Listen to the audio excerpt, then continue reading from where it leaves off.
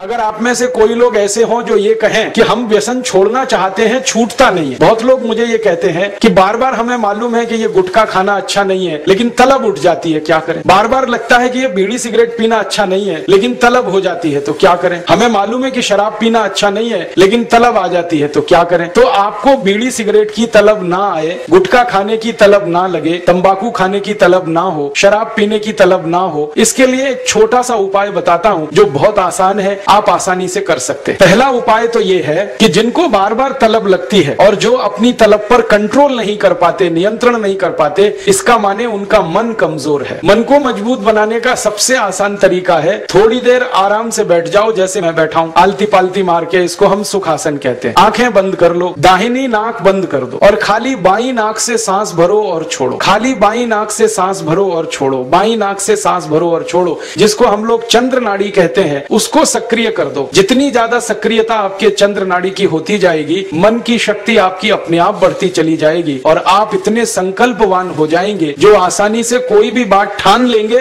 तो उसको बहुत आसानी से कर डालेंगे। ये एक तरीका है। बहुत आसान है। ये भी प्राणायाम का ही तरीका है। दूसरा एक तरीका है कि आपके घर में एक आयुर्वेदिक औषधि है, जिसको आप सब जानते हैं और पहचानते हैं। और उस औषधि का नाम है अदरक। अदरक हम सबके घर में है। इस अदरक के टुकड़े कर लो छोटे छोटे उसमें नींबू निचोड़ दो। थोड़ा सा काला नमक मिला लो और इसको धूप में सुखा लो। सूरज की धूप में इसको सुखा लो। सूखने के बाद जब इसका पूरा पानी खत्म हो जाए, ये अदरक के टुकड़े हमेशा अपनी जेब में डाल के रखो। जब भी दिल करे कि तंबाकू खानी है, गुटखा खाना है बीड़ी सिगरेट पीनी है तो आप एक अदरक का टुकड़ा निकालो, मुँह में डालो, उसका चूसने का काम शुरू कर दो। और ये अदरक ऐसी अद्भुत चीज़ है, इसको दांत से काटो मत। तो सवेरे से शाम तक ये मुँह में आपके सुरक्षित रहता है। इसको चूसते रहो, आपको गुटखा खाने की याद ही नहीं आएगी, आपको बीड़ी सिगरेट पीने की तलब ही नहीं आएगी, और दारू की तलब भी छूट जाएगी।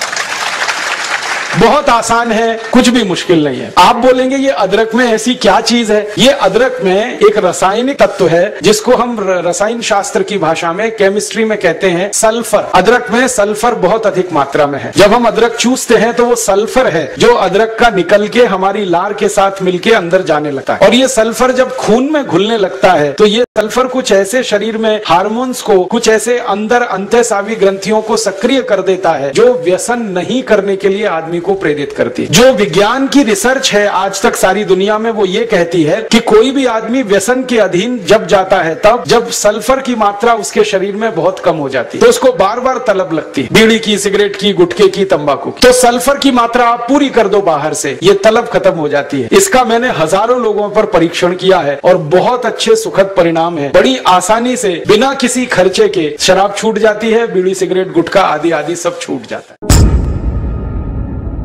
सारे देशभक्त हमारे वीडियो को लाइक शेयर और हमारे चैनल को सब्सक्राइब करें। जय हिंद।